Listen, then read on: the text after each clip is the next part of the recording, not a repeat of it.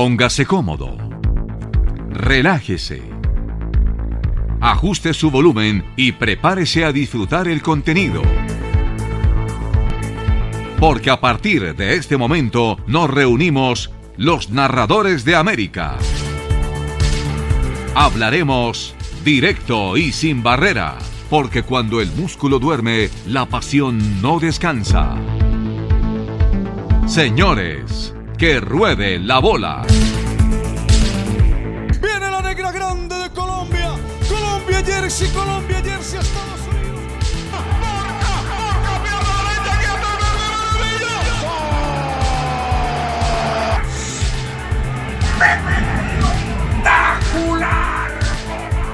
¡Qué golazo! ¡Qué golazo! ¡Qué golazo! ¡Qué golazo!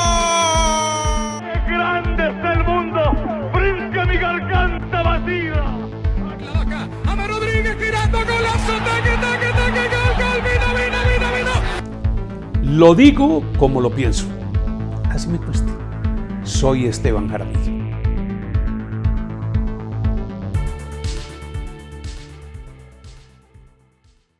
En Coordinadora evolucionamos. Hoy nuestro sorter de clasificación de mercancía más moderno de Latinoamérica nos permite seguir construyendo junto a ti.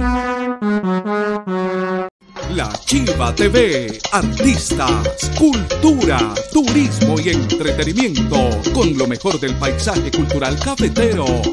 La Chiva TV. La Chiva TV.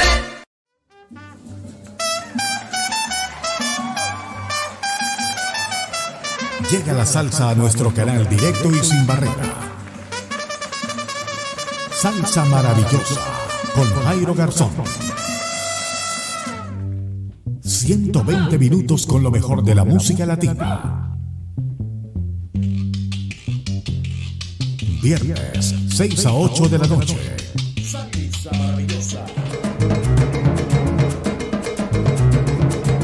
Salsa maravillosa con Jairo Garzón.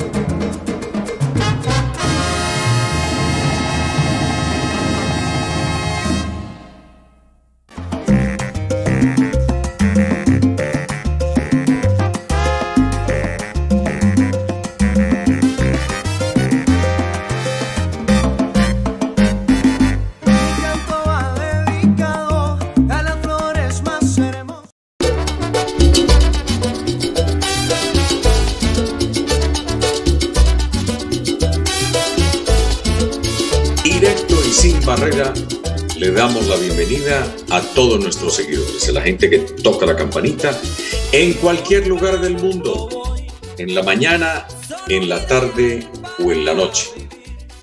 Estamos contentos hoy con nuestro gran invitado. Un hombre que si usted sintoniza la radio, inmediatamente oye sus primeras palabras, ya sabe quién. Que representa radio, conocimiento, Hablar de ley es hablar de la música, hablar de la buena radio, del conocimiento con el empresario, con el emprendedor, con el colega y por supuesto con el amigo.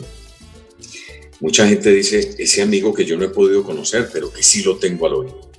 Y lo registro constantemente, muchas veces en la madrugada, eh, abriendo el día, abriendo el paso radial de lo que pueda suceder en las ondas hercianas. Ley Martin, conocimiento de la música, cajita de música, claro que sí, con su voz particular, porque es una voz sello, así le identifico yo, una voz sello y, y un colega nuestro. Ley, le doy de una vez la bienvenida. ¿Cómo estamos? Bienvenido a Directo y Sin Barrera y gracias por aceptar la invitación. Bueno, muchas gracias. Para mí es un honor y lo digo de todo corazón eh, que haya sido tú, Tato, que hayas tenido esta deferencia. Me siento muy orgulloso porque aparte de ser tu admirador, como mucha gente en Colombia, pues yo te voy a decir la verdad, cuando me, cuando me hablaron de esta invitación y me hablaron de Tato Sanín, yo dije, ese debe ser un mamador de gallo, un imitador de voz de los amigos míos. Ese debe ser risa loca, algunas veces me están mamando gallo. Pero bueno, qué alegría, me siento muy, muy complacido, muy orgulloso además. Qué bien, Lacey. No, aquí tomamos el, el pelo, aquí pasamos agradable, porque hacemos nota distinta, ¿no? Es más tocar esa, ese, ese, ser humano que hay en, en, en ese cuerpo y alma. Y, y, le doy mil y mil gracias por estar, compartir, sacar de su tiempo desde su hogar para estar con nosotros. Hoy está el maravilloso Jairo Garzón, de los narradores de América, Orlando Salazar, de los comentaristas de América, periodista del departamento de Risaralda, nuestro gerente y productor, don Leonardo Prieto, muy juicioso, eh, haciendo ya ejercicios, ya lo notamos más talladito a Monseñor. Eh, nuestro productor en Buenos Aires, Argentina, es Andrés Anín Montoya. Eh, Jairo, ahí tenemos a Ley, ahí tenemos un hombre de radio, de la música y compañero nuestro. ¿Qué tal, Jairito? Hablamos el micrófono, Jairito, para ya conectar.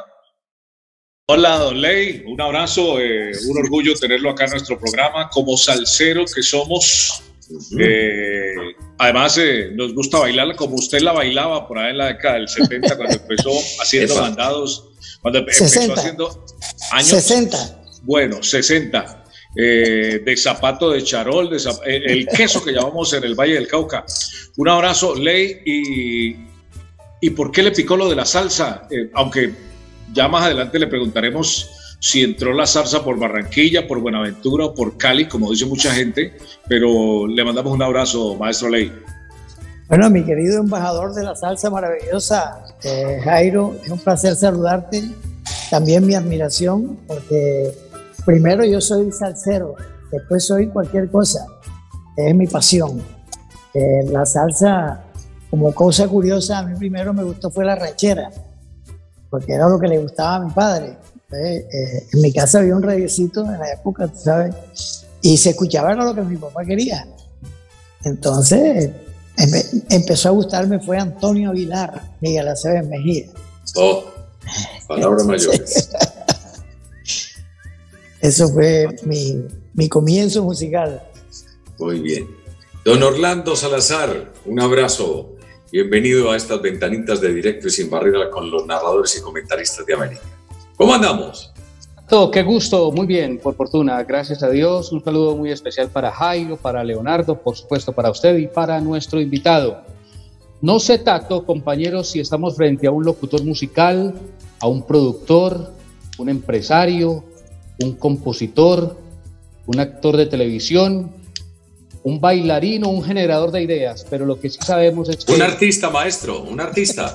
Su fascinante historia en los medios de comunicación comenzó comprando una caja de cigarrillos para nadie más y nada menos que el señor que finalmente lo puso con el apelativo de Ley Martin, una historia que seguramente va a contar un poco más adelante. Por lo pronto un saludo y un gusto conocerlo, don Ley Martin, a quien escuchamos pero no conocía personalmente. Hombre, muchas gracias, muy amable. Eh, de todas esas cosas que ustedes dicen, yo no soy nada. Yo lo que he sido una persona que he aprovechado el momento, así como, como cuando me, me, me colocaron a hacer un mandado para buscar unos cigarrillos, aproveché el momento que Dios me puso y, y así ha sido todas las cosas de mi vida. Eso hablaremos más adelante. Don Leonardo Prieto, No le estamos oyendo, Leito. A ver qué pasa. Para que se conecte con su salud. Ahora sí. Por ahí tranquilo. Ahora sí. Sí, sí, sí. Buenas tardes, ¿me escuchan? Cuente tres y arranque, como diríamos en las transmisiones de radio de hace unos 20 años atrás. Uno, dos, tres. Un honor para Directo y Sin Barrera tener a Ley Martin. Yo fui el de la imitación del Tato, Ley. Oh, yo, excelente. Yo quiero, yo quiero agregar a, a, lo que dijo Orlando, y a todo eso que, que, que, mencionó nuestro compañero Orlando Salazar, que Ley Martín es también padrino de bautizo, ¿no? Y de nada menos y nada más que el Gran Combo de Puerto Rico. El, el, la persona que está aquí con nosotros, el invitado, es el padrino de, de bautizo del Gran Combo con el eslogan La Universidad de la Salsa. El Gran Combo se conoce así gracias a nuestro invitado. De verdad que es un orgullo para nosotros, eh, Lady Martin, en directo y sin barrera. Bienvenido. Hombre, muchísimas gracias, muy amable. Y recordarme eso que ha sido el acontecimiento quizá más grande de mi vida, porque yo sentía una profunda admiración por el maestro Rafael Itier, por, por su carrera, por, por sus logros, y que él me haya escuchado esa iniciativa que también fue circunstancial, como el paquete de cigarrillo y todas las cosas que yo he hecho, pues para mí fue un honor eh, bautizar al Gran Combo como la Universidad de la Salsa. Caramba, buenas tardes, te habla Maestro. Rafael Etienne desde acá de Puerto Rico. eh, Ah, pero tiene esa voz clarita, Rafa. Quería saludarte, sí. eh, estaba haciendo gárgaras con clavo de canela. Y, Le creo, le creo. Bueno, quería saludar a mi padrino y esperando a ver dónde me va a mandar la cuenta para pagarle, mi querido padrino. Te habla Rafael Etienne, gracias, mi hermano. no hay dinero con que pagar eso, porque sabes que a mí una vez, eh, eh, eh, Rafa, te cuento que una vez el maestro Itier, porque él es una persona exageradamente seria, una vez me dijo que, que cuánto podría ser o de qué manera podríamos este, arreglar esa situación de haberle colocado el eslogan al gran combo. Y yo le dije, maestro, esa es la única deuda que usted jamás podrá pagar, porque eso no tiene precio. es un regalo. Es un regalo. Teta. Yo me acuerdo de Lane también, porque si le ponemos un, un African look, tiene la barba. Y ustedes se acuerdan de esta música que decía, hola amigos, bienvenidos. Sí, sí, sí. Lo hizo él en la televisión. Sí, está- estabas a gramilla alta. Oiga, pero ustedes son cosas serias. Sí, sí, sí, sí. Cuando estás a gramilla alta que no utilizaba, no utilizaba peines y no el ganchito ese de los tres. Sí, la época Sí, del. African look. Los tres dientes. Exactamente, exactamente. Eh, Ley, ¿por dónde entra la salsa? Porque hay, hay, hay muchas versiones. Cali, Buenaventura o Barranquilla. Bueno, Colombia. yo hasta, hasta donde conozco eh, es Buenaventura, Eh, porque coincide que cuando a mí me comienza a gustar la salsa, eh, a mí me llamó poderosamente la atención un personaje que le decían Peregoyo. Entonces llegaban discos y tal, supe él tenía algo que ver con Buenaventura y comencé a interesarme en el tema porque en Barranquilla había un personaje que acaba de fallecer, Michi Sarmiento, eh, tenía un conjunto que comenzó a imitar todos los discos de Nueva York. O sea, grabó el Cumbele, la música de Richie Ray en Disco Fuente. Y su competencia era Peregoyo y su combo, que era de Buenaventura. Yo comencé a averiguar allí y el trabajo no lo hizo ningún medio de comunicación. Sencillamente eran los, los que trabajaban en esas embarcaciones, comenzaron a traer esa música y por lo menos en Barranquilla la comercializaban porque la radio no estaba interesada en promoverla. Entonces, eh, aquí hay unos sitios que le llaman los estaderos, que son unas cantinas, aquí le llaman estaderos, y entonces esos sitios empezaron a comprar esa música y esta gente siguió trayendo para, para ganarse un billete extra. Los capitanes de barco, el auxiliar, el cocinero, toda esa gente traía música y se la vendían a estos, a estaderos que tenían una, unos enormes aparatos que se llaman los pick-up, que hay más de 2.000 en Barranquilla, desde hace 50, 60 años. Entonces, por ahí se comenzó a difundir, pero yo tengo el conocimiento que es por Buenaventura. Eso es lo que yo tengo claro, que fue por Buenaventura. Y en Barranquilla comenzaron a hacerlo también. Pero recuerda que aquí nuestro puerto no es tan, tan generoso como el de Buenaventura. Entonces, después empezaron a traerlo ya por avión. eh, gente que se dedicaba a ir a buscar esa música a Nueva York la traía para comercializarla. Entonces queda claro, Jairo, ¿no? Sí, Por sí, sí, sí, Buenaventura. Por Buenaventura. Usted que tiene su salsa maravillosa, eh, es, es muy bueno porque mucha gente pregunta. Yo soy salsero también, a mí me gusta la salsa. Me gustan esas voces eh, que da el ritmo de la salsa porque eh, son voces agudas, sonoras, penetrantes y, y hay tantos, pero tantos cantantes. ¿Cuál es el que más le ha sorprendido, Ley? ¿Cuál es el que, el de su gusto, el que lo atrajo, el que lo cautivó? Bueno, quizás no sea el mejor porque es que escoger un cantante en la salsa es Complicado. No, casi imposible porque es que son muchos. De hecho, hay canciones que están pegando ahora que no se alcanzó a colocar en aquella época. Por eso es que mucha gente dice, oye, que la salsa se estancó. No, es que no alcanzaron a colocar tanta cosa buena que había. A mí toda mi vida he sido un admirador de Cheo Feliciano. Ese es mi salsero, aunque son muchas las voces, pero ese es el que más me, me llega al alma y es lo que más escucho siempre. Yo tengo toda la colección en Spotify, tengo lo poquito, he sacado Spotify de Yo Cuba. Eh, más que todo me gusta lo de él en la época de Yo Cuba. Ya después La pachaca. de España no. Sí, la época de Yo Cuba, pues tenía una voz fresca, era un muchachito de 18 años de edad. Y bueno, a mí me fascinaba. Y, y esos arreglos de Yo Cuba, que no eran ningunos arreglos, era, era una música espontánea, lo de Yo Cuba. Eran, yo recuerdo una vez hablando con Cheo, le decía, Cheo, ven acá, ¿cómo hiciste tú para grabar este, esos éxitos de Yo Cuba, como Macorina, como a las seis la cita, el cachondea y todo eso? Y él me dijo, nosotros nos metíamos en marihuanao al estudio eh, de- después de 3 de la mañana y todo eso lo inventábamos ahí.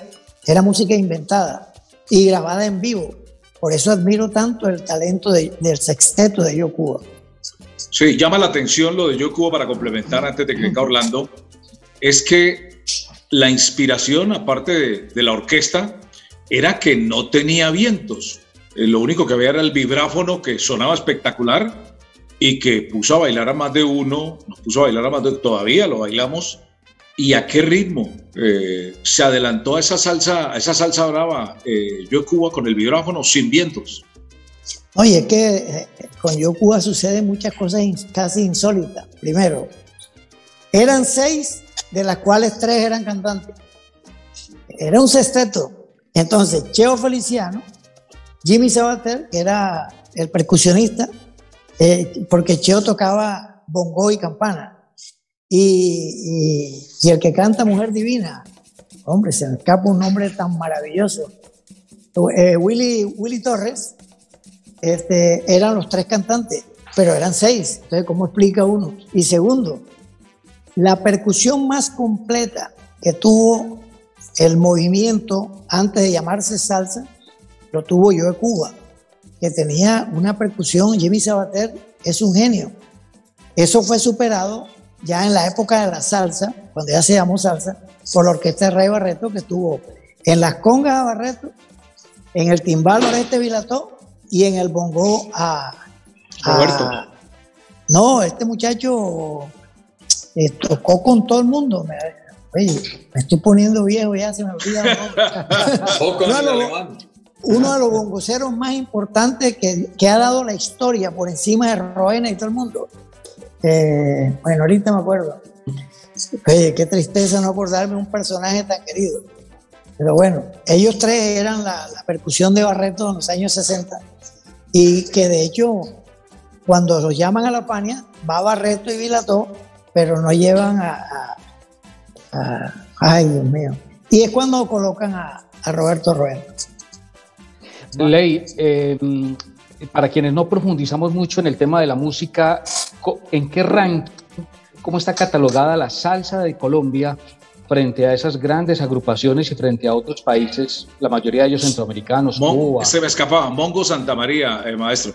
No, no, él es famoso, hombre. Hasta tuvo orquesta. Estuvo con, Tito Puentes toda la trayectoria. eh, fue un vocero. de- Bueno, después me acordaré. Yo sé que me acuerdo ahorita porque es un hombre muy famoso. Bueno, eh, de los bongoceros, tuvo con Tito Puente. Con... A él le dicen el dandy, pero bueno, bueno, bueno, continuemos que yo sé que ahorita lo voy a recordar. Dale. Le, le complemento la pregunta, maestro. Frente a- al ranking, Colombia, ¿cómo se encuentra en, en su salsa frente a- al universo de la, de la salsa que básicamente la dominan eh, los, los centroamericanos, Cuba, República Dominicana, etcétera? Eh, no- nuestra salsa es muy bien catalogada, muy bien ranqueada. Por supuesto, eh, hablar de, del grupo Nietzsche no lo ubica como colombiano. El grupo Nietzsche lo ubica como uno de los mejores eh, grupos eh, y bien constituido por su disciplina, por su talento, por su creatividad, el maestro Jairo Varela. sí estamos en el top. Colombia aparece registrada como Maestro. teniendo una de las bandas más importantes del mundo. Maestro, nos aporta aquí nuestro productor Dandy Rodríguez. Eh, Johnny Rodríguez. Johnny Rodríguez. el Dandy, el Dandy. Congocero de los Bravos. Él, él, fue uno de los creadores de la típica 73. Claro, el Dandy. Tuvo Tito Puente, bueno, un hombre grande. Ma maestro, yo quiero preguntarle, bueno, usted nos cuenta que uno de sus favoritos, o el máximo, eh, es el mismo de, del maestro del maestro Jerry Rivas, ¿no? Eh, uno de mis favoritos es eh, Héctor Lavoe, a quien usted tuvo la oportunidad de traer a Colombia varias veces, pero quisiera preguntarle por esa tercera y última vez que fue en el 86 en el estadio Romelio Martínez con Peter Conde Rodríguez, eh, bueno, con, con, el hermano de Rubén Blades, Roberto Blades. ¿Qué, ¿Qué, significó para usted traer a un grande de la salsa como Héctor Lavoe? Más que traerlo y siendo un hombre tan talentoso, eh, me gustó de todos los que vinieron. Pues en ese momento vino Celia, vino Oscar de León, Andy Montañez, Pete, el Conde Rodríguez, el mismo Rafi Mercado. Lo que más me gustó de la posición de Héctor Lavoe cuando decidió venir fue en un acto de solidaridad. Eh, que a mí Héctor Lavoe no me cobró, porque yo había tenido un incidente con Rubén Blades de un, dinero y cuando yo los llamé a ellos, fue mi caballito de batalla, fue decirle, estoy en la inmunda, estoy quebrado, tuve que hipotecar mi casa, la voy a perder, si me pueden ayudar, me ayudan, sabré agradecerlo. Y todos, incluyendo a Celia, nadie me cobró. Fue que hubo tanto dinero en ese espectáculo que terminamos encerrados en la habitación de Celia en el hotel y tiramos la plata como si fuéramos mafiosos. Eso llegaba, era en bolsa de, esa de, de, saco de fique en esa época. Como y había tanto dinero que tuvimos que repartirlo porque yo no me podía quedar con eso. Eso era mucha plata. Yo saqué mi hipoteca y repartí el resto, pero eh, es mejor que no me hubieran cobrado porque yo, hubiera, yo estuviera multimillonario. Fue que repartimos solidario. Y esa anécdota de, de, qué pasó con Rubén, ¿por qué ese bueno, quiebre que fue noticia? Sí, sí. No, Rubén Blades es uno de los artistas que yo más admiro. Yo lo admiro. Es un personaje que le dio un respiro a la salsa cuando ya estaba en agonía, por allá en los mediados de los 70, la salsa estaba en agonía. Entonces él apareció con unas letras, era, la misma, era el mismo modelo cubano en la parte musical, pero él le agregó eh, la letra, le puso letra, se convirtió en un cronista era como un periodista que cantaba, algo así, o un contador de cuentos que, que cantaba, y eso, y eso cautivó a mucha gente. Eh, eh, pero mi, mi situación con Rubén no fue planeada. Es que en el momento en que yo hablo con Rubén, cosa que no puedo lograr ahora, Vlad es multi, archibillonario en dólares. Y es un hombre muy poderoso, muy rico. Y quizás una persona como yo no tenga cómo llegar donde él, no tengo cómo. Pero en esa época él era un muchacho este, que estaba, en ese tiempo pues la estrella era Héctor Lavoe, la estrella era Hecho Feliciano, y yo tenía una gran amistad con todos. Y él veía mis movimientos, veía que Rafi Mercado me quería mucho, que Pacheco conmigo era muy especial, que Celia me invitaba a su casa. Entonces Rubén se daba cuenta de eso, porque Rubén en ese tiempo él, él aprovecha una oportunidad que en la Fania había que hacer un álbum homenaje a Tito Rodríguez. Mira lo que son las cosas. Eh, antes ya Rubén había visto que la situación entre Willy Colón y Héctor Lavoe era insostenible, porque Willy es exageradamente disciplinado y Héctor Lavoe era tremendo sollado, eh, hasta que Willy se cansó. Entonces eh, Rubén Blades había entregado una canción en el álbum El Bueno, el Malo y el Feo, una canción que se titula El Casanguero, para que la cantara Héctor Lavoe. Eh, Héctor Lavoe no sabía ni siquiera qué significaba la casanga. Entonces decía, ¿cómo voy a cantar lo que yo no sé qué es? La casanga es lo que le llamamos acá en la costa, no sé, ya, la María Mulata, el ave esa negra que se mete en las cocinas y, tiene el pico bien fuerte y se roba el arroz, la carne, es una ave negra. Este, aquí le llamamos María Mulata, en, la costa. En todas partes de, de- América lo hay, allá le llaman la cazanga. Entonces Rubén Blades hizo un disco llamado El Cazanguero, que es un espantapájaro. Entonces eh, Héctor dijo que él se negaba a cantar ese disco. Entonces Rubén, que era el autor, le propuso a Willy y lo grabó. Lo mismo pasó con Fania. Eh, eh, un artista, no me acuerdo si fue, no, no- recuerdo el nombre de quién era el que, el que falló en el álbum homenaje a Tito Rodríguez, y no apareció. Y Rubén, como hacía coro, él, y él era el mensajero de Fania, estaba siempre ahí, ¿sabe? Como tiburón en boca de charco, esperando. Entonces vio esa oportunidad y le propuso a Luis Ramírez que él podía cantar a los muchachos de Belén. Por eso es que él no está en los créditos. En el álbum no aparece el nombre de Rubén Blades. Le digo, bueno, ya que estamos sobre el tiempo y está amaneciendo, mete la voz ahí. Y la metió y fue el único tema que pegó. Pues yo me convertí, yo me convertí en un fanático de Rubén. Entonces, él tuvo problemas con Fania porque él era el único que reclamaba. O sea, los demás no, los demás. Héctor Lavoe, tú le dabas un, le dabas un poquito de cocaína y con eso arreglaban el problema. Era el, otro- era el sindicalista, pues. Claro, a- al Cheo le daban un tabaco de marihuana y resolvían, pero Rubén Blades exigía facturas, tipo muy disciplinado. Entonces, cuando empezó a pedir facturas, este, Jerry Masucci, que manejaba la parte financiera con su hermano y con, y con Víctor Gallo, le pusieron la queja a Rafi Mercado, que era el que hacía los conciertos. Yo, oh, este tipo aquí, tenemos un guerrillero aquí, tiene un problema.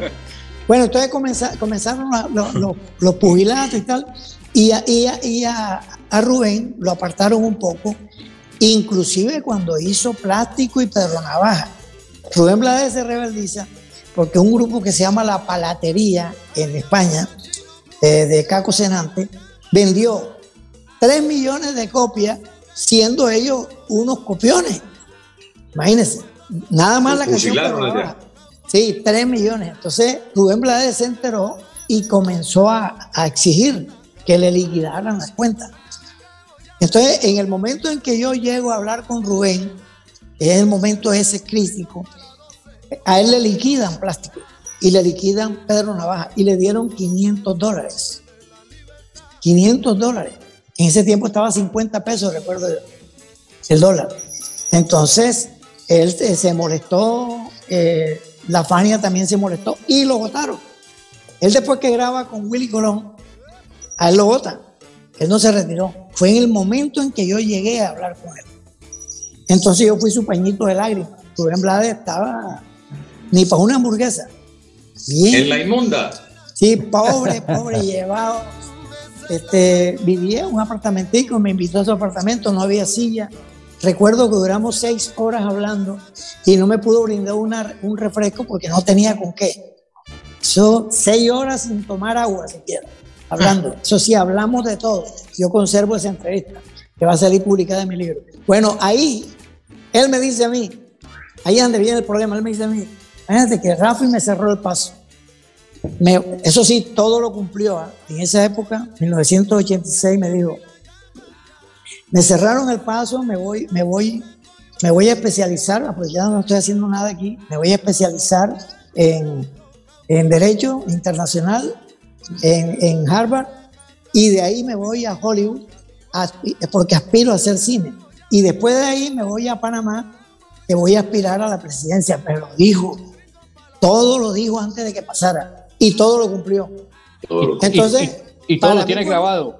Para mí fue muy triste, sí, yo claro, yo conservo esa grabación, para mí fue muy triste que, que veo a ese pobre hombre en la inmunda, como dice Tato, entonces yo le digo, tengo una idea, porque es que el oficio mío, créanme, Dios me dio a mí un don, que yo, yo, yo parto un balín con un soplo, ese es un don que Dios me dio, literalmente, yo te invento Para ver qué tiene por dentro.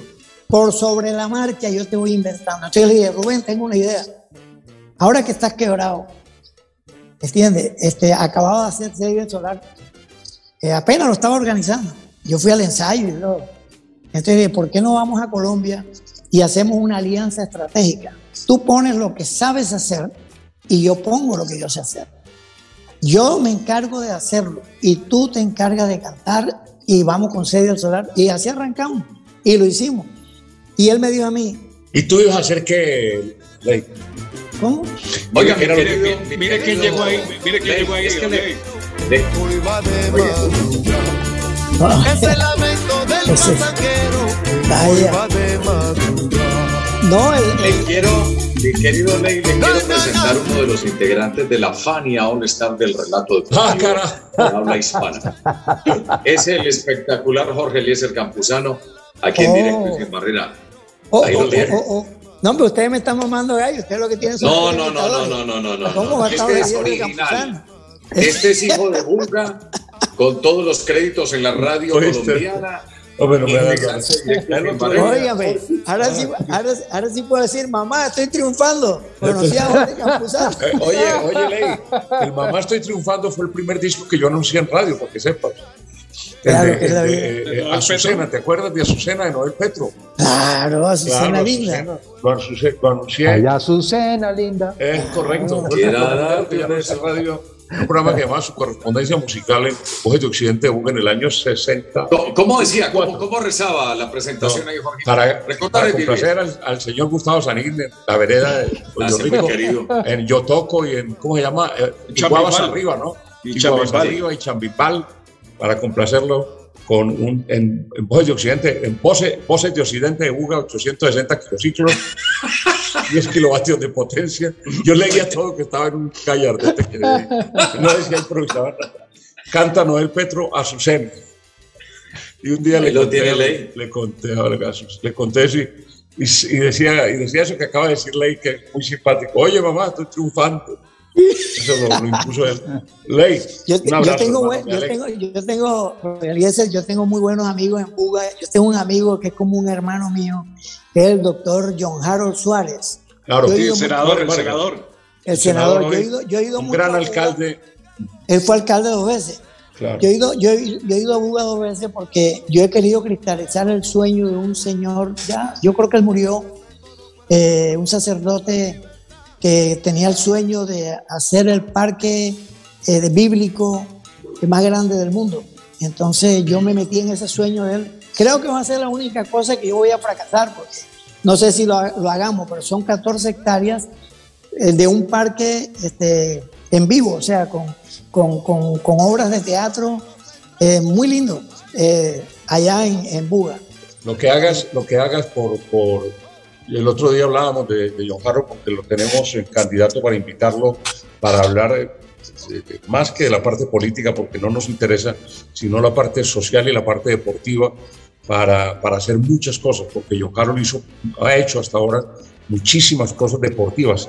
eh, eh, ¿Cómo se llama? Fuera de eventos, ha hecho escenarios deportivos bellísimos. El parque, Pero no, el parque creo- lineal, tiene un Claro, parque, el parque lineal. lineal es una fantasía. Pero yo te saqué del tema, eh, eh, y la verdad es que es una delicia escucharte, porque yo creo que aquí todos los que estamos en, en- en- eh, estamos, como dicen, uno con la boca cerrada también oye igual. Sí, sí.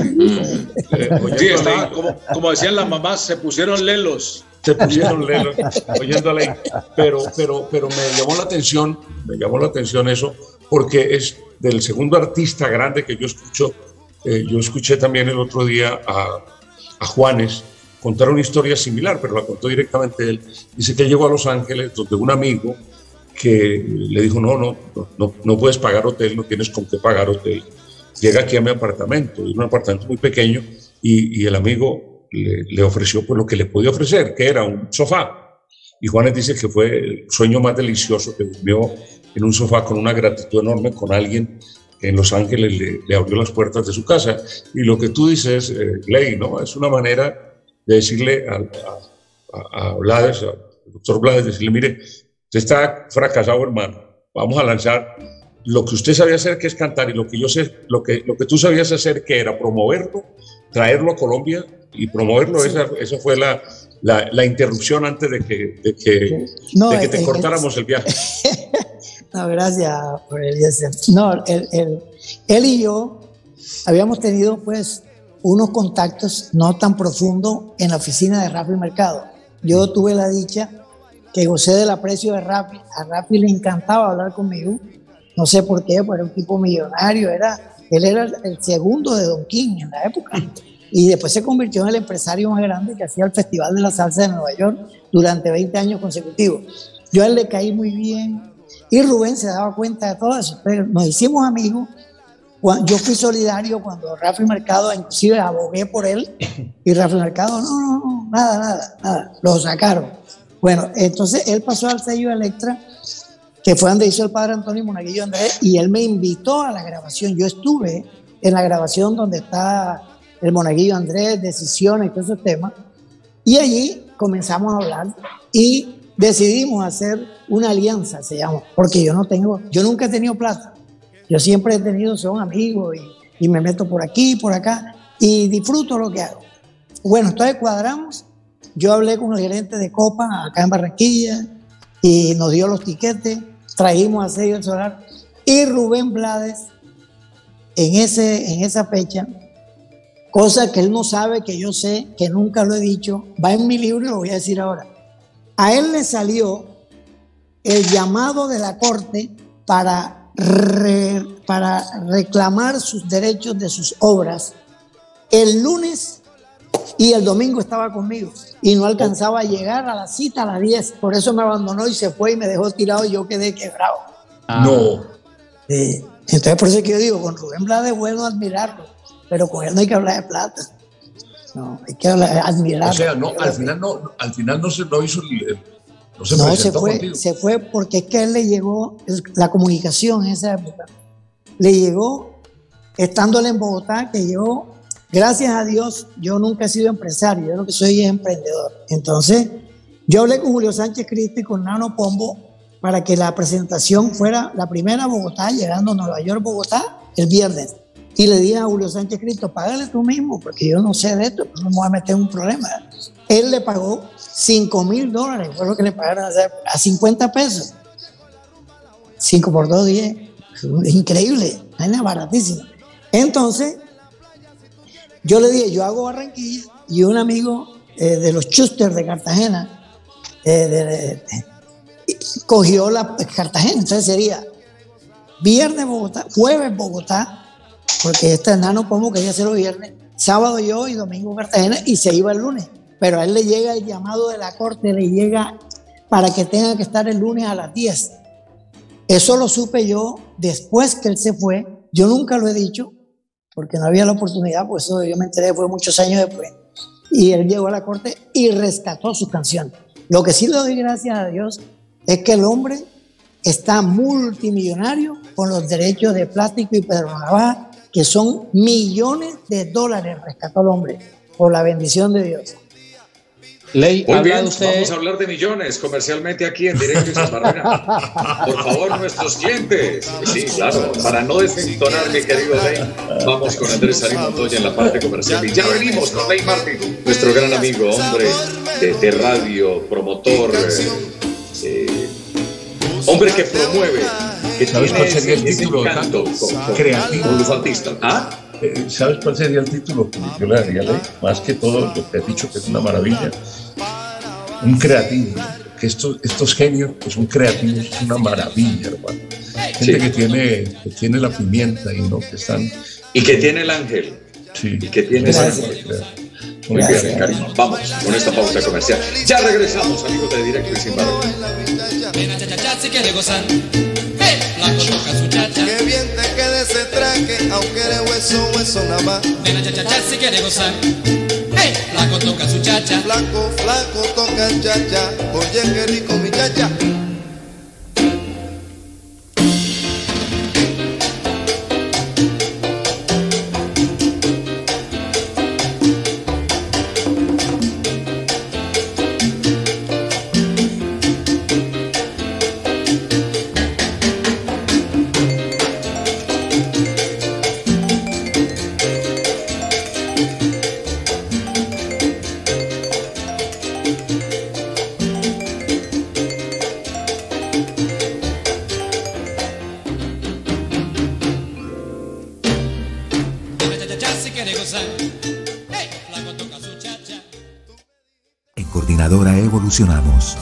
Nuestro sorter de clasificación de mercancía más moderno de Latinoamérica nos permite seguir construyendo junto a ti. La Chiva TV, artistas, cultura, turismo y entretenimiento, con lo mejor del paisaje cultural cafetero. La Chiva TV.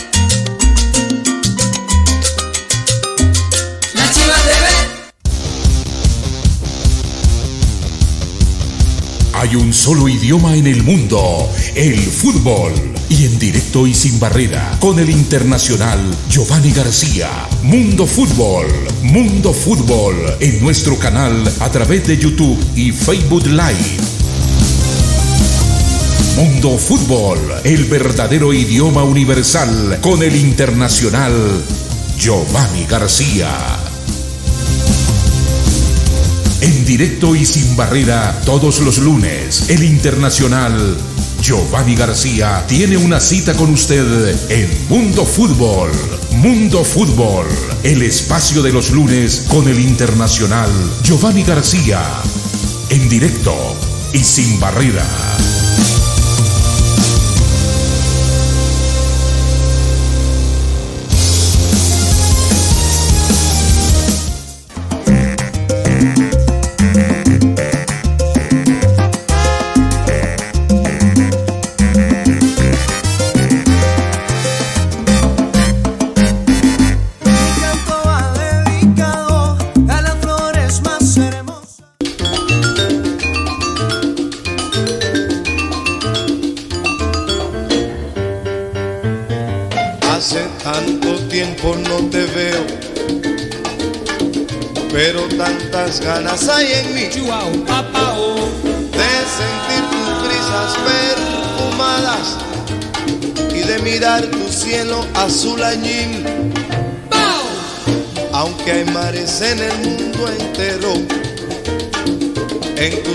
Fue que yo Suscríbase nací. que es totalmente gratis, no hay problema. Tus cocos son los más sabrosos.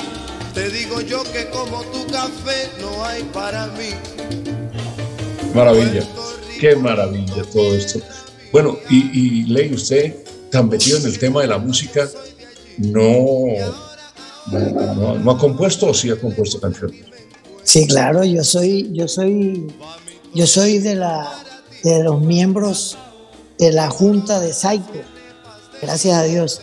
Claro que me valieron, pues, de las canciones mías, me valieron el ser una persona, porque en los reglamentos eh, hay, casos excepcionales, como por ejemplo, si el Tato Sanín decide cantar, eh, componer una canción, Psycho está en la obligación eh, lo mismo que Aureliezer, porque son personajes públicos.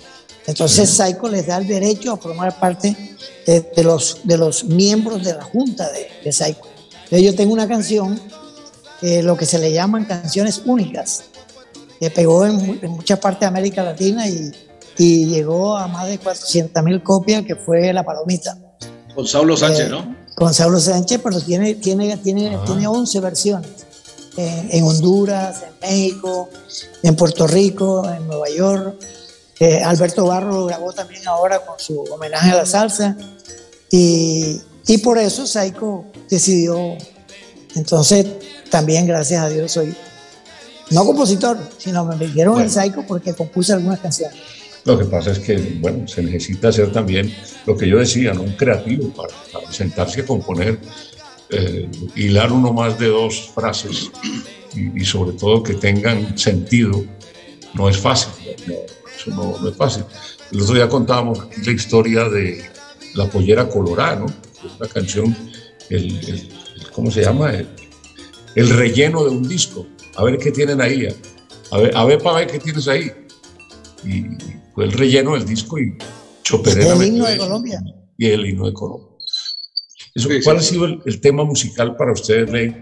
Eh, digamos, dentro, dentro de toda la música, de todo lo que usted ha hecho musicalmente, de lo que ha oído, de lo que ha visto, el tema musical que más lo ha llenado usted. Bueno, eh, la salsa tiene dos facetas. La salsa para el bailador, que era con un contenido más musical que lírico, que fue hasta el año 75 cuando apareció Rubén Blades. y de ahí viene otra etapa que es de Rubén Blades en adelante. Entonces, en mi opinión, la, la canción de salsa más importante para, en, en, mi opinión personal, es Pedro Navaja, de Rubén Blades. Es una, es una crónica, es una crónica, es, es como, como, yo recuerdo que cuando Rubén, cuando venía conmigo, me dijo, necesito que me consigan una cita con Gabriel García Márquez, yo no tenía cómo llegar a de García Márquez, pero Ernestico Macaulay era muy amigo de, del viejo Guillo Marín, porque su hijo andaba con nosotros, y entonces por el viejo Guillo logramos que este, García Márquez nos atendiera en Cartagena. Entonces yo fui a hacer el favor a Rubén Blades, Rubén Blades me dijo, yo quiero hablar con García Márquez. Es una de las condiciones eh, amistosas. Entonces yo fui a Cartagena y entonces esperábamos como cinco minutos ahí, entonces el celador llegó eh, y bueno, ya este, el, el, señor García Márquez dice que lo puede atender, pero por aquí, por la, por la, por la ventana. Por la ventanita. Cuando vio al hijo de Guillo y a Macaulay nos hizo pasar. Ah, sí. Bueno, fue cortico. Y yo le dije, bueno, ¿qué? qué? Eh, Rubén Blades quiere hablar con usted. Entonces García Márquez nos dijo que, ¿y ese quién es? yo, empecé a, yo empecé a cantar plástico, pero nada, y entonces dice, dice, ah, ese es, el, ese es el desconocido más conocido del, del, cual me han hablado. Digo, el, el, desconocido más conocido. Y yo le dije ese mensaje a Rubén, yo le dije, no, él dijo que tú, que tú eras el desconocido más conocido. Es una anécdota muy bonita de ser. Y qué maravilla, qué maravilla. Contactarse, sí. ¿Pudieron tener ese contacto ellos o por lo menos el, el mensaje le llegó a García Márquez? O yo fui personalmente. Ah, ya, ya, ya. ya él nos atendió en Cartagena, él estaba viviendo en Cartagena sí, en esa época. En el año 80 y pico, 86, por ahí, 85. Y yo fui a Cartagena con, con, con Ernesto Macaula. Y él nos recibió, pero cortico, cortico. Y porque vio al hijo de Guillo. Por eso es que, pero por mí no, ni por mí. Él nos hizo pasar, pero así, así como quien dice, váyanse rápido. Entonces ahí en la puerta, en el umbral, porque era un portón grande, una casa bonita, en el laguito. Y entonces digo, digo, no, no, ese, ¿quién es este? no sabía quién era Rubén Blas. Ma maestro, maestro, eh, inclusive en ese, en ese, en ese tema de, de Pedro Navaja dice, eh, como en una novela de Kafka, el borracho rodó por el cayón y en ninguna novela aparece pedacito de, de Kafka. ¿Ya? No, bueno, porque y... es que él, él, se refiere, él se refiere en la obra de Kafka, él se refiere a lo insólito. Porque es que ah, Kafka, ah, Kafka, Kafka es, lo, es, lo, insólito, es que Kafka, él compara al borracho con, con, la obra de Kafka, porque es insólito que tú veas a un hombre que se convierte de pronto en un insecto. Sí, sí, la metamorfosis. Exacto, es una cosa insólita. Entonces, por eso, es por lo insólito, no por más nada. Y él quiso darle de paso una cachetada a los pseudo intelectuales. Dice, ay, yo soy un maraquero. Mira, claro, que, estoy hablando, claro. que, estoy hablando, de Frank Kafka.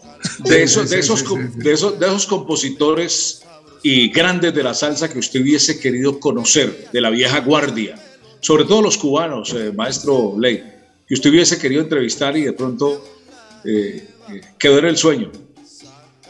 No, yo los que quise conocer los conocía todos. Yo, yo quise conocer, el que yo más admiro, se llama Tite Curea Alonso. El maestro y Tite. tuve la dicha de hablar con él, también conservo esas grabaciones. El tipo es una, es una, como una Biblia, o sea, la forma de cómo compuso esas canciones. Me contó la historia de Margarita, así que, oh, Margarita, cuánto soñaba. Él me dijo, estábamos nosotros ahí en el Yauco, en la, en la parada 25, en la parada 15, eh, en, en, San Juan. Y entonces él me dice, mira, aquel almacén que tú ves allá, me señaló ahí. Ahí estaba la prostituta que estaba quitándose las lentejuelas borracha. Y yo dije, ay, ¿eso a qué se debe? No, porque ella fue un gringo que llegó, que la enamoró por un día y le regaló un traje de lentejuela, la emborrachó, le hizo el amor y después se fue y la dejó ahí sin plata y con lentejuela. Oye, a, a propósito, eh, Ley tiene que ver con la radio deportiva en Barranquilla. Bueno, Barranquilla ha sido radio deportiva, ha tenido no solamente el nacimiento de muchas cosas, pero entiendo, Ley, que el nombre te lo acomoda mucho eh, un narrador deportivo. Ramírez puede haber sido Sergio, ¿no? El Ley Martín. Sí. Sí, claro. ¿O cómo viene? Sergio, Sergio y Roger. Ah, bueno, Roger, que eran yo- palabras mayores. Para yo mí, le- Roger yo era. yo- yo le debo, yo le debo mi carrera al deporte, porque que yo llegué, yo llegué de mi barrio en el año 71, 72. Yo llegué a la calle 72, ¿Y tu barrio era Aquí. cuál, Ley? barrio Lucero, era un barrio donde había más venta de marihuana que tiendas. y gracias a Dios, no, gracias a Dios, yo nunca, nunca, nunca me interesó eso.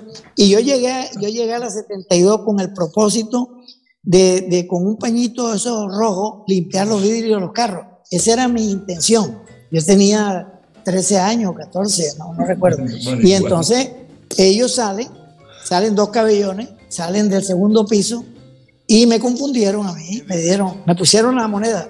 Ay, pelado, compra los Lucky y nos los lleva, ya tú sabes dónde. Pero fue que se equivocaron, yo no era. Entonces, yo tenía dos opciones, o robarme la plata. Entonces yo cómo me iba a robar una plata si yo vengo de un barrio donde yo estaba huyendo de tanta maldad. Entonces yo dije, no, no, yo voy a comprar los cigarrillos, yo no sé quiénes son ellos. Entonces pregunté a los meseros del sitio, porque eso estaba en un segundo piso, abajo había una refresquería, y me dijeron, no, esos son los locos de Caracol. Ya, ya, ese es Sergio y Roger. Imagínate, entonces yo subí y encontré un mundo maravilloso, porque yo era bailarín de cabaret de mala muerte. Yo bailaba en, la- en los estaderos y recogía plata con un sombrero. Con la caída de la hoja y todo. Sí, yo no, yo recogía plata. No, no, no, la caída de la hoja, el paso de la caída de la hoja, la tijereta y todo. Sí, claro, yo era bailarín, hoy de lo bueno, yo era buen bailarín. Y entonces cuando llego ahí encuentro ese mundo de la radio y allí yo tengo, eh, yo tengo, Dios me ha premiado con un don que yo donde llego rara vez tengo un enemigo, yo tengo son amigos. Yo le caí bien a Roger, le caí bien a, a- a Sergio y me convertí en la mano derecha de Sergio, que era el director de Radio Reloj de la época, porque él hacía comerciales, el narrador era Roger. En ese Era tiempo Roger. Sergio no narraba. Entonces ahí nos hicimos amigos y yo le empecé a dar ideas siendo un niño.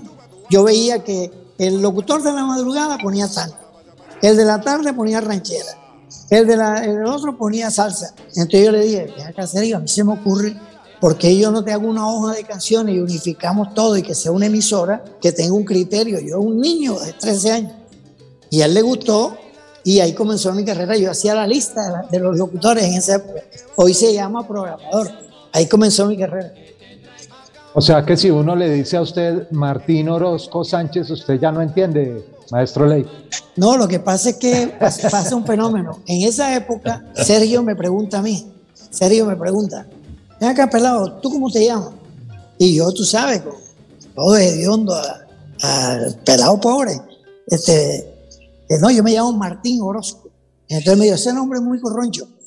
Entonces el Roger dijo, vamos a poner el nombre. Oye, hay tres manes que están de moda. Este, eh, Dean Martin, Sammy Davis Jr. y, y Frank Sinatra. Vamos a ponerle Ley Martin a este man. Ahí comenzó la cosa. Entonces ha pasado el tiempo y yo a mi hijo un día, que tiene hoy 22 años, le dije yo, papi, ¿por qué no te pones Ley Martin? Y me dice, no, porque soy muy corroncho. Mejor Martín Alejandro Orozco.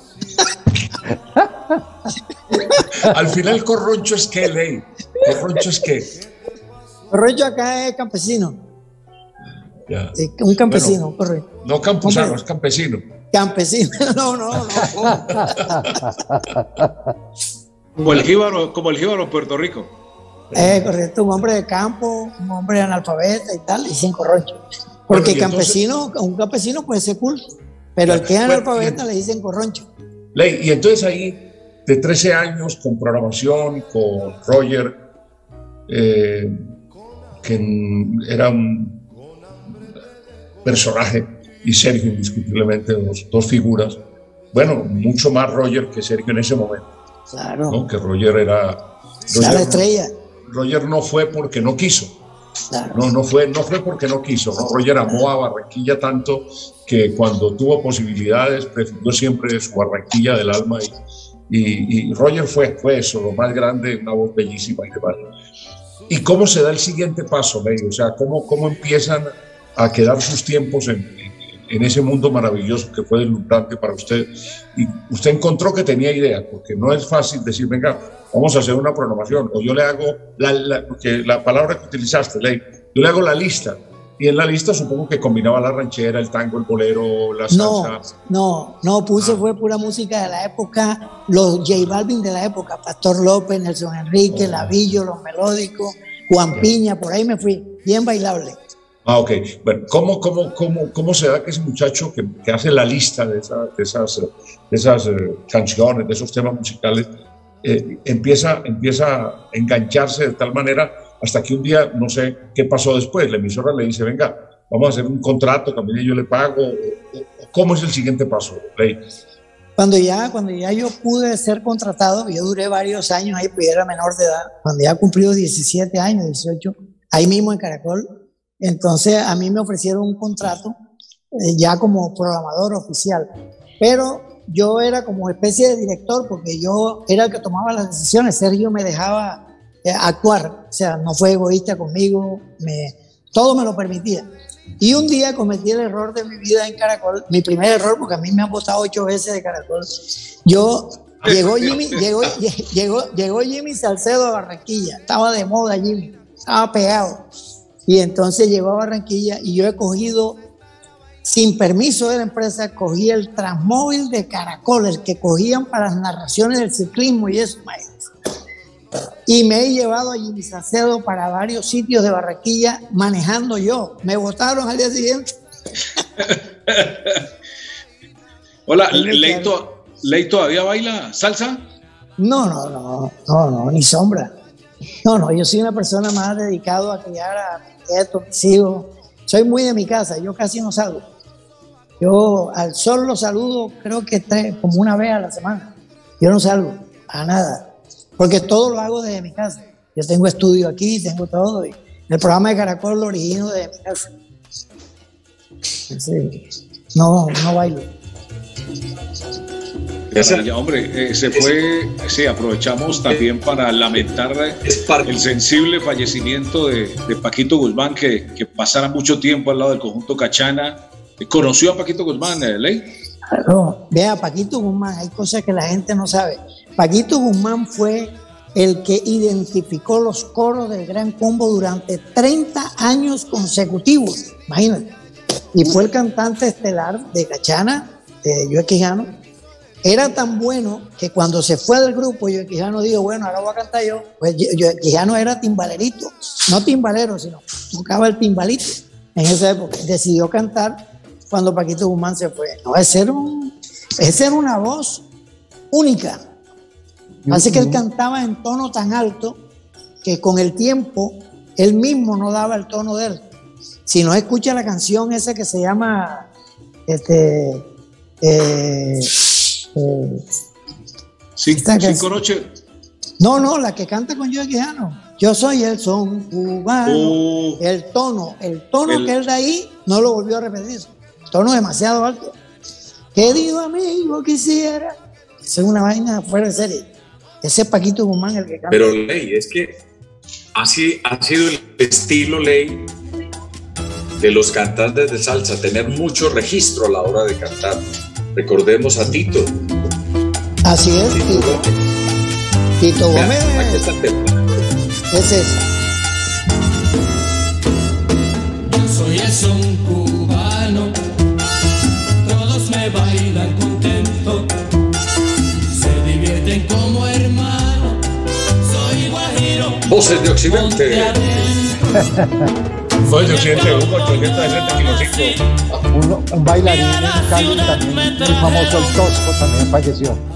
El Tosco Sí, sí, sí. en, en- en Cali. Y, Ley y- Martin le tocó la época de Watusi, de Amparo Arrebato, de, arrebato, ¿no? de Evelio Carabalí, que eran los bailarines de Cali de la época, ¿no, Ley? No, porque es que en la época en que yo era bailarín, yo era un vago. O sea, yo no tenía en cuenta. Yo solo sé que yo salía con mi sombrerito a recoger menudo, aunque nunca tuve necesidad de trabajar, a mí mis padres me educaron, pero yo quería tener, tú sabes, unos centavos y yo salía a bailar, pero nunca, nunca me fijé en nadie. Yo salía a los míos y, y yo por lo general andaba solo. Yo me Salsa, salsa silvestre. Eh, pero no dan con... Ley, y esa caracterización de Jimmy Salcedo fue muy compleja como actor. También fue casualidad. que mi vida está llena de puras casualidades. Eh, eh, aquí vinieron a buscar a Joe Arroyo para que contara su vida. Y entonces Joe Arroyo, como tenía bastantes problemas de salud en esa época, él le dijo a los productores de RCN, eh, vea, ¿quieren saber de mí? Busquen a Ley Martín. Él sabe más que yo de mí porque somos amigos de infancia. Entonces vinieron a mi casa y yo empecé a mostrar cosas, fotos de la Orquesta La Protesta. Eh, yo tenía una cantidad de cosas y entre las cosas que yo tenía, ellos se dieron cuenta que yo tenía una revista eh, que se, llama, se llamaba Hits, que era la competencia de semana en esa época. Y de antena, de antena la consagración. De antena, exacto. Entonces, allí a mí me hacen una entrevista donde me confunden con Jimmy Salcedo y ellos me decían, oye, pero tú te pareces a Jimmy en esa época. Nosotros te podemos poner una peluca. Y yo le dije, no, yo hice con el Yo Arroyo, hice la Colombia All Star. Y ellos no sabían qué era la Colombia All Star. Entonces buscamos en YouTube y ahí estaban los conciertos donde cantó Yo Arroyo, Piper Pimienta. Entonces ellos dijeron, tú no das permiso para meter eso en, la, en el libreto. Yo le dije, no, pero si eso no es mío, son ustedes, métanlo. Entonces, ellos me dicen, ¿y si nosotros hacemos un casting? Entonces me pusieron una peluca, vinieron, porque ellos estaban grabando en Barraquilla en esa época, el primer capítulo de Arroyo. Y créanme que de ahí para adelante este, la historia cambió porque metieron la Colombia Star, metieron el show de Jimmy, todo eso no estaba en el libreto. Entonces metieron eso y ellos me dijeron, bueno, tú si quieres puedes hacer aquí, te podemos hacer como un, un capítulo donde Joe se presenta en el show de Jimmy. Pero cuando empezaron a ver la historia de la Colombia al Estar y una cantidad de cosas, yo terminé haciendo 55 capítulos. No, pues. Y yo nada más iba a hacer uno. Eso fue casualidad. La Colombia All Star fue qué? Yo, yo, lo vi tal vez, o lo vi tal vez en Nueva York, en el Madison, que cantó Pipe. No, fue la esa, fue, es, esa, fue, una imitación de lo que yo hice. Eh, ah. en, el año, en el año 79, en el año 79, a mí se me ocurrió la idea de llamar a Joe Arroyo, a Fruco, a Joe Madrid, a Piper Pimienta, a Wilson Saoco, los verdaderos grandes músicos, Jimmy Salcedo, yo los reuní en Bogotá. Entonces hablé con Jimmy y Jimmy me dijo, yo no te doy plata, yo te los presento en mi show y yo te ayudo en la idea, te acompaño como músico, pero si me toca gratis en el show de Jimmy, yo creo tú vas a cobrar gratis, yo, no soy dueño de nada. Hicimos el show allí y después fue que una persona en Cali se copió eso porque había grabado una canción en estudio simulando público con Piper Pimienta que se llama Cañaveral y lo anunció como Colombia al Estar, pero Colombia al Estar fue esta. Ahí se estaba el Joe. Tú lo buscas en YouTube y ahí está, Colombia al Estar. Canta el Joe, canta Juan Piña, Piper Pimienta, Wilson Saoco y Jairo Licazales. Eran los mejores de la época. Fruco en el bajo, Joe Madrid en el piano. En esa época yo conocía a Jairo Varela, yo tengo fotos donde Jairo Varela, flaquito, flaquito, llegó allá al, ensayo que fue en Manricura en el año 79 y me, preguntó quién organiza esto. Y dije yo, ven acá, yo traigo unas canciones para que las para dárselas a Yo de Madrid, que era la estrella de la época, era el director de la Philly. Entonces yo le di a Yo Madrid, mira, yo, hay un señor que está preguntando por ti que quiere darte unas canciones. Y, y él contestó con grosería y no lo atendió, pero yo me hice amigo de Jairo Varela allí y esa amistad duró hasta su muerte. Fue el, 9, el 9 de diciembre Jairo Valera cumpliría 72 años. Es correcto. El tema que más le gusta de Nietzsche, eh, maestro Ley. No, yo te doy la lista y ahí peleo con el que sea, porque son muchas. no, no, yo soy, yo soy un fanático de Jairo Varela a muerte a muerte y lo defiendo y me ha causado pelea con amigos como nunca. Yo he peleado por él. Ese es un poeta, es un hombre fuerte, se adelantó a la época. Amor, amor, este, eh, en el Lamento Guajiro, Cali Pachanguero, y las que tienen letras como este, este que es una rechera. Eh, pero más, mucho más y mucho más. Duele más. Ah, sí, duele más. Y, eh, las mujeres están de moda. Ahí en esta orquesta le está Juan Piña de corista. Es que Juan Piña lo invitamos, lo invitamos porque había una canción estelar de esa época que se llamó El emigrante latino y había una película y había una polémica por un dinero entre, entre Antonio Alvilar y el sello de los melódicos eh, Discomoda. Entonces, como había un escándalo en esa época y el disco se disparó, llamamos a Juan Piña para que cantara porque la versión que él hizo era un poquitico salsera, no tan, no era tan, tan, tan tropical, sino un poquitico salsera. Entonces, yo decidí llamar a Juan Piña para que cantara ese disco, el, el emigrante latino. Ahí está, esa, esa es la, la delantera que estábamos viendo ahorita. Sí. No propiamente era Jorge Eliezer Torres, no, no era, era, era- Ahí, mira, con el gordo, con el gordo en Jumea. Es correcto, hubo escándalo en esa época, hubo se- Mi- se demanda. Y yo aproveché eso. Eso fue un ingenio mío para, para llamar público y tal. Juan Piña se puso de moda. Antonio del Vilar era el autor de la canción, entonces que iba a demandar, entonces que la policía, que los abogados. Y yo dije, vamos a llamar a Juan Piña para que dispare aquí ese disco. Y lo metimos. Y fue, fue, fue, fue exitoso. Tengo O sea una pregunta. Le gustaba todo el berrinche, ¿no? Le gustaba el berrinche. Salía de la casa donde estaba fumando marihuana por todos lados. El barrio, el barrio. Sí, sí. El barrio, digo. Eh, el Esta barrio. pregunta, sí, esta pregunta, maestro, eh, ah, eh, se han presentado soneros grandes eh, en el mundo. El caso, por ejemplo, de Cano Estremera, el caso de, de- de Cándido Fabré y de Gilberto Santa Rosa. Eh, ¿Con cuál de ellos se queda? No, yo me quedo con uno que usted no nombró. Yo me quedo con Ismael Rivera. Ismael Rivera, el sonero mayor. Ah, Maelo. eso- Maelo. todo, casi todos lo invitaban a él. No, porque es que la gente, la gente quizás los que no son especialistas, él no, te- él no, el, problema con Ismael no eran las letras, era la, su voz era un instrumento. La forma como él irreverentemente se le metía a los coros, eso nada más lo hacía él. Que después lo copió Cano Estremera, pero Ismael Rivera es el original. Eh, él fue el primero que hizo de su, eh, en la cara linda, él, Oh. él hace, hace, hace la guitarra eh, que después lo copió Rubén Blades en ¿Cómo era eso? Guayaba. ¿Cómo era eso, Ley? ¿Cómo, cómo es? Que él, él Que- con, su que él se voz, mete- con su voz hacía los instrumentos. Por ejemplo, Toco, toco, hacer ton, el- tarinda, linda, linda, Eso, linda. eso. Así es. taca, tiquitón, tiquitaca, tiqui, se le metía como si fuera un instrumento. Eso no es normal. Eso no es normal. Cualquiera cree que es fácil, pero eso nomás lo hacen los soneros. Los soneros. Pues Ley, hombre, quisiéramos charlar muchísimo más tiempo. No, no, no, Tato, no, no, no. Creo que no. No, no, no. Yo, No, Tato. yo, no. yo tengo Porque una el última. premia en direct Barrera y no queremos abusar de nuestro amigo Leymar. No, es que lo- con él no hay todo- problema, porque todo ahora lo puede que hemos empatar. Faltan ahora- miles ah. y miles de capítulos. Ah, Sí, sí, sí, sí, sí, sí. No te- Podemos no te hacer el segundo, el segundo tiempo. Es que, es que oja- o- ojalá me hagan un segundo tiempo, porque para mí, se lo digo y lo digo de corazón, no es, una, no es, un, no es una- un falso elogio. Estar con el Tato, lo digo de corazón, con el Tato y con Jorge Eliezer, para mí es un, un honor, lo digo, lo digo y puedo gritarlo. Gracias, honor. hermano. Gracias por lo que nos toca. Muy amable. Sí, Muchas gracias, hombre, Ley. Muy amable. Pero mira, todo. una cosa, Tato, pero no, yo creo que no, él está entrenándose aquí, porque ahora viene a las 12 de la noche, agarra el caracol, y a las 2 de la mañana lo recibe Por eso, con, no, con no, Manuel es que- Serna. Y habla con Juan Manuel hasta las 3 de la mañana de lo bello y lo divino, joven, hasta las 3 de la mañana. No sé hasta Sí, qué hora, sí. que es un espectáculo, Juan Manuel. No es sino darle cuerda y ahí.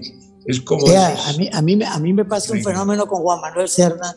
Ah. Cuando, cuando a mí me metieron al proyecto, Caracol me llamó para este proyecto, yo lo primero que pedí fue llamar a, a Juan Manuel Serna y él, como, como dice Aurelio, a él nada más hay que apoyarlo. Yo nada más le digo, maestro, ¿quién inventó el palillo? Por ejemplo, y empieza a contar una historia. no, ese hombre es genial, es genial. Tú sabes- hombre genial. Tú sabes, tú sabes, para cerrar, porque es que es interesantísimo, Tato lo conoce, Juan Manuel Serna es un, es un personajazo, es un hombre súper inteligente. En el año 72 se grabaron unas promociones de presentación para los Juegos Olímpicos en Múnich, en, en- en Todelar. Pues aquí a Todelar, trabajaba en esa época, y Todelar me llamaron, vea, hay un señor que está llamando y dice que, oiga, que respeten el alemán, que la pronunciación que le pusieron a eso no es la pronunciación del Múnich, que no sé qué y tal. El teléfono del señor es este, yo lo llamé, le habla Juan Manuel Serna, yo soy profesor, estudié en Alemania, en la universidad, y soy profesor de idiomas y tal.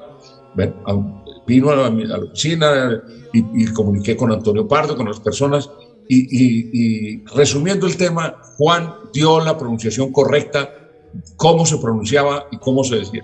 Pues ahí sí no le entendió ni el pu. ahí sí la cosa se complicó del todo. Entonces le digo yo Juan, oiga, ¿y por qué no, y por qué no cambiamos? Y lo dice lo más fácil posible.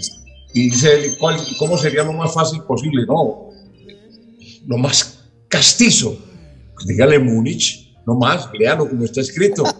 Don Antonio, que le diga Múnich. Ahí, ahí comenzó la amistad con, con Serna, porque es una persona, lo que dice, hable del palillo y él te va a investigar, investiga la raíz del árbol que dio el palillo hace 200 años. No, y perdón, y, y- y perdón, para terminar esa parte de Juan Manuel, eh, yo una vez este, le pregunté sobre la huella digital, porque es que yo soy el que le pongo los temas. El Sí, tipo claro. es un genio, es un genio, es un genio. Genio. No tiene nada escrito. Yo le dije, maestro, ¿por qué no nos habla de la huella digital? Y me dijo una sola cosa que nunca olvido. Me dijo, entre, duró media hora hablando, y dijo, las cebras, ninguna, ninguna raya de las cebras se parece a otra ni a ninguna otra cebra. Esa es la huella digital de esos animales. Imagínense. Qué maravilla. Qué, qué La- colofón, ¿no? Qué colofón. La, ul- la última mía, maestro Ley, ¿por qué Álvaro Ruiz nos privó de su voz en la ley contra el AMPA? Él, eh, eh, yo, yo, yo terminé siendo un gran amigo de él. Eh, cuando yo fui, porque él tenía razón, yo fui, fuimos Jairo Pava y yo, yo era control en esa época. Eh, comenzaba pues, después que di mis pasos y tal. eh, yo fui aspirando con Jairo Pava, que trabajaba conmigo en Radio Reloj, aspirábamos a formar parte del elenco que estaban buscando gente. Entonces había una cola grande. Jairo Pava ya primero que yo entró y entonces cuando salió, salió frotándose la mano, coronel, dale, entrada ahí contra Lampa, tal, tremenda voz Pava. Cuando entré yo, eh, me pusieron a hacer libreto, Álvaro y cuando terminó me dijo, este, usted no sirve, pero para nada. Nada, yo dije, pero ¿Qué tengo una hiciste? oportunidad. Tengo una, no, porque es que yo no tengo buena voz. Yo tengo una voz mala. Gozaín y yo estamos compitiendo. Pero no, hay otro más, Weimar. Weimar, pues ahí. O volando vijo. Eh, me, me No, sacó, pero, me sacó, pero me sacó. como lo decía yo, Jorge, y creo que esta no la podemos cambiar. Es una voz fácil de identificar. Es una voz, es una Únicas. marca. Sí, No, claro. Ley Martín está hablando. Su disfonía, su voz medio ahogada, pero, pero es una marca. Esa, esa es Ley Martín. Ya sabe uno. Ah. Sí, ¿y, sabe, sabe- y sabe por qué yo, sabe por qué yo comencé a hablar? Gracias, gracias a, a Roger. Eso se lo debo a Roger. Cuando- en esa época, este, bueno, imagínate, yo era más niño. pues. Si así hablo como un bebé, en esa época era como un mico. Entonces, yo le daba algunas ideas a ellos. Yo decía cosas para que ellos las dijeran en Radio Reloj en esa época. Entonces, Roger me jalaba y me decía, ven, dilo tú, dilo tú, dilo tú. Así comencé a hablar. Porque yo decía tantas barbaridades que terminaban gustando. Por ejemplo, yo le puse un eslogan a Radio Reloj en esa época, la pantera musical de Barranquilla. Y saqué el rugido de, los, de, de Cine Metro. Fui al Cine Metro y grabé el rugido en esa época que era rudimentaria. Cuando yo llevé esa idea, yo se la llevé a Roger y a Sergio. Pero Roger dijo, no, no, no. Se ve, dilo tú, dilo tú. Entonces yo hablaba en los programas deportivos, Roger era la estrella en esa época. Entonces yo hablaba en el programa de Roger. Él me dejaba hablar cuando yo hablaba de música y eso. Eh, don Tato. Anécdotas. Señores. Una última, Jairito. Eh, no, simplemente a- agradecerle, agradecerle al, al- al gran Ley Martín. Y ya me parece que quedó ya sembrado el segundo capítulo, Sí, el sí, segundo, sí. Hay que el segundo hit con este hombre hablando ya de las letras del, Ah, del si libro que va a escribir. Lo metemos en la familia directo y sin barrera. Está también. Claro. No, conmigo cuentan, conmigo cuentan, porque todavía no lo creo. Yo estoy muy orgulloso, muy feliz, me siento muy feliz. No, no, no, corazón. se puede quedar Pues sí, en mire. esta nómina. Mire que hasta lo saludó, hasta, hasta lo saludó Rafael Itier, fíjese. ¿ah? Oh, qué bueno. Eso es una, una delicia. Todo sí, señor. Un abrazo, Ley. Gracias también. Bueno, un abrazo. Muy Para amable, muchas abrazo gracias. Muchas gracias, Jairo, muchas gracias. Gracias. Bueno, maestro. Gracias, maestro. Bueno, amable, señores.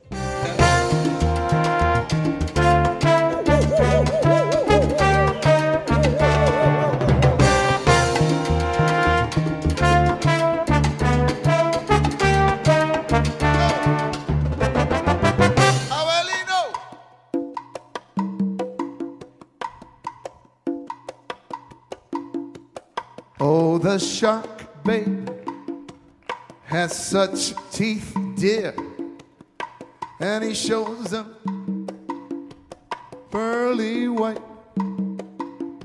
Just a jackknife has old Mac Heath, babe, and he keeps it out of sight. You know when that shark bites with them teeth, dear, scarlet billows start to spread. Fancy gloves, oh, where's old Heath? So there's never, ever a trace of red por la esquina del viejo barrio lo vi pasar. Cántala conmigo. Con el tumbao que tienen los guapos al caminar. Las manos siempre en los bolsillos de su gabán. Pa' que no sepan en cuál de ellas lleva el puñal. Usa un sombrero de ala ancha de medio lado y zapatillas por si hay problemas salir volado. Lentes oscuros pa' que no sepan que está mirando. Y un diente de oro que cuando ríen se ve brillando. Como a tres cuadras de aquella esquina, una mujer va recorriendo la acera entera por quinta vez. Y en un saguán entra y se da un trago para olvidar que el día está flojo y no hay clientes para trabajar.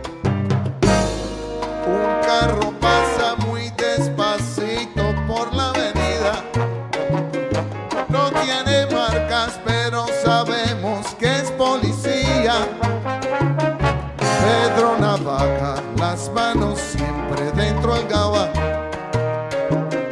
Mira y sonríe y el diente de oro vuelve a brillar. Mientras camina pasa la vista de esquina a esquina. No se ve un alma, está desierta toda la avenida. Cuando de pronto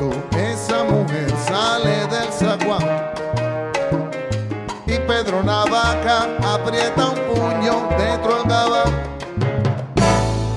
Mira para un lado, mira para el otro y no ve a nadie.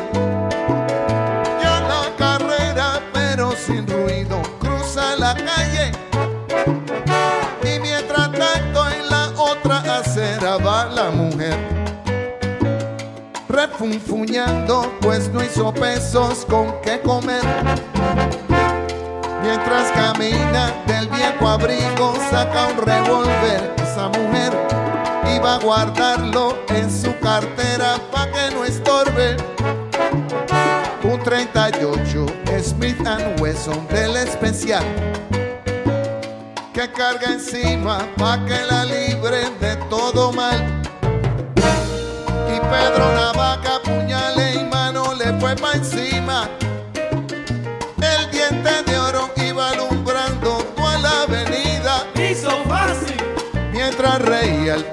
Un día sin compasión. Cuando de pronto sonó un disparo como un cañón.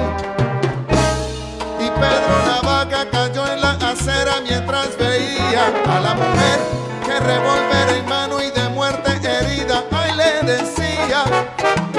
Yo que pensaba, hoy no es mi día, estoy sala.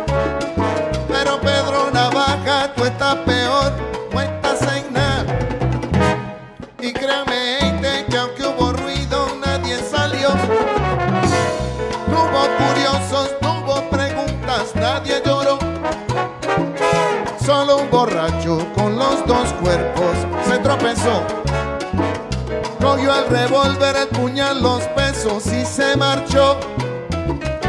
Y tropezando se fue cantando desafinado. El coro que aquí les traje y da el mensaje de mi canción que dijo New York. La vida